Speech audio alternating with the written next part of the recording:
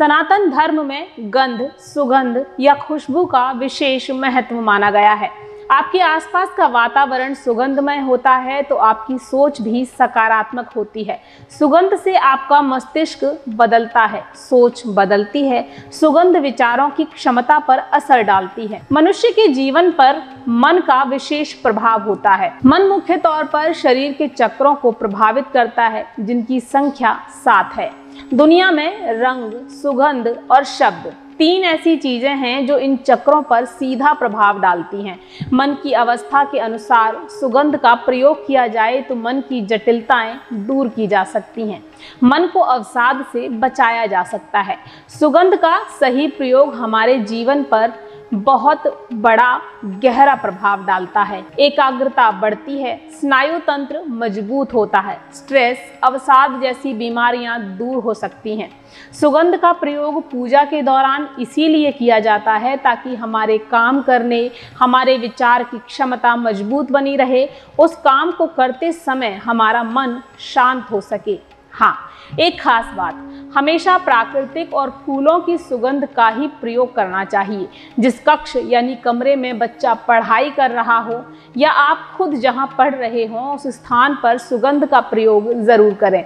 लेकिन इस बात का खास ध्यान रखें कि सुगंध जितनी हल्की होगी, उतनी ही वो प्रभावशाली भी होगी। हम अक्सर इत्र, परफ्यूम या डीओ का यूज़ शरीर की दुर्गंध को मिटाने के लिए करते हैं, ताकि हमारा शरीर सुगंधित रहे, तरोताज़ा सा एहसास होता रहे। ऐसे में इस बात का विशेष ध्यान रखें कि अगर शरीर पर सुगंध का प्रयोग करना है तो इसे कलाइयों, गर्दन के पीछे और नाभि पर किया जाए। नहाते वक्त भी नहाने के पानी में सुगंध डालकर नहाना उत्तम माना गया है। जो लोग अविवाहित हैं, विद्यार्थी हैं उन्हें हमेशा चंदन की सुगंध का इस्तेमाल करना चाहिए। जहाँ बैठकर आप काम करते हैं, वहाँ धूप बत्ती ज़रूर जलाएँ। ऐसे स्थान पर चंदन या गूगल की सुगंध करनी चाहिए। अगर आप मानसिक तनाव को दूर करना चाहते हैं, उत्तम स्वास्थ्य चाहते हैं तो सोने वाले कमरे में गुलाब या मोगरे की सुगंध का इस्तेमाल करें। सोने से पहले अपनी नाभि पर चंदन या गुलाब की सुगंध लगाकर सोना चाहिए, लेकिन हल्की सुगंध लगाएँ। घर से नकारात्मकता को दूर करने के लिए सुबह शाम फ्रेंकिनसंस यानी लोहबान या लोबान जलाएँ। इसे एक मिट्टी के पात्र में रखकर पूरे घर में घुमाएँ। अगर आप किसी प्रकार की पूजा उपासना कर रहे हैं, देवताओं का आह्वान कर रहे हैं तो उसके लिए गूगल की सुगंध का इस्तेमाल करें। इसके अलावा चंदन की सुगंध का भी इस्तेमाल किया जा सकता है। इसी तरह प्रेम के लिए गुलाब की सुगंध का इस्तेमाल किया जाता है। डिप्रेशन दूर करना चाहते हैं तो ज़्यादा से ज़्यादा सुगंध का इस्तेमाल करें। कहते हैं ना, जिसके जीवन में सुगंध नहीं, उसके जीवन में शांति नहीं। और जहाँ शांति नहीं होगी, वहाँ सुख और समृद्धि भी नहीं रहेगी। यानी सुगंध है तो शांति है और शांति है तो स्वास्थ्य, सुख समृद्धि है। जीवन में शांति के लिए सुगंध के महत्व को समझना है तो कुछ उपाय आप आजमा सकते हैं। ज्योतिष के मुताबिक शुक्र ग्रह भौतिक सुख सुविधाओं का कारक माना गया है। शुक्र मज़बूत हो तो जातक अद्भुत सौंदर्य का मालिक होता है। आत्मविश्वास भरपूर रहता है। तो शुक्र ग्रह को मज़बूत करने के लिए परफ्यूम या इत्र की सुगंध का प्रयोग करना चाहिए। इसके अलावा शुक्ल पक्ष के शुक्रवार को माता लक्ष्मी को इत्र और श्रृंगार की वस्तुएँ भी भेंट करें।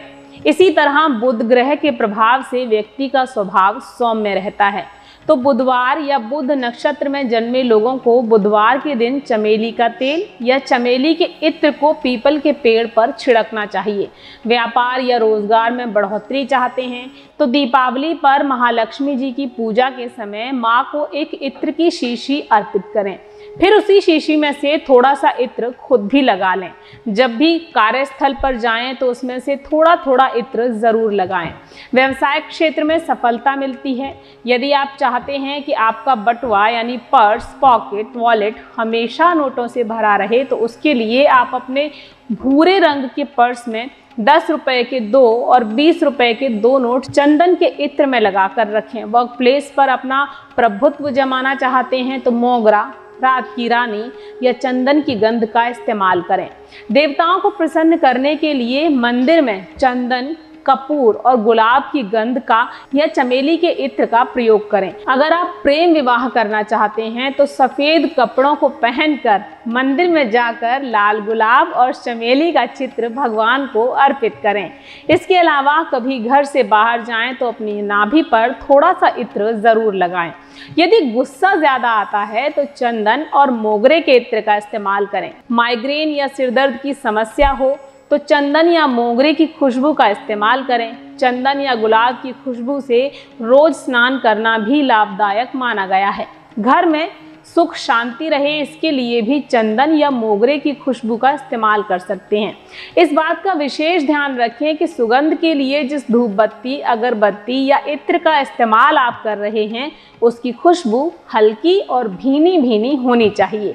मानसिक तनाव को दूर करने के लिए, अच्छे स्वास्थ्य के लिए, बेडरूम में और नहाने के पानी में गुलाब, रात की रानी मोगरे की गंध का उपयोग किया जाना चाहिए। सुगंध के बारे में धार्मिक मान्यताएँ, प्रयोग और ज्योतिषीय धारणा या महत्व से अलग सुगंध को चिकित्सा के तौर पर भी इस्तेमाल किया जाता है, जिसे अरोमा थेरेपी कहा जाता है। ऐसा माना जाता है कि 80 फ़ीसदी तक खाने का स्वाद उसकी खुशबू पर ही निर्भर करता है। तभी ये माना जाता है कि सूंघने की शक्ति के खो जाने पर व्यक्ति के जीवन पर इसका व्यापक असर पड़ता है। सूंघने की क्षमता खो देना एक सुख के खोने के समान माना गया है। हालाँकि ये एक तरह की बीमारी है, जिसे अनोस्मिया कहा जाता है, जिसका मनोवैज्ञानिक और शारीरिक प्रभाव भयानक हो सकता है। फ़िलहाल सुगंध के संबंध में संक्षिप्त सारांश ये है कि आप अपने आसपास के वातावरण को सुगंधित रखें। ताकि आपका मन, मस्तिष्क और स्वास्थ्य सब में स्फूर्ति का संचार हो और जीवन स्वस्थ, सुगंधित बना रहे।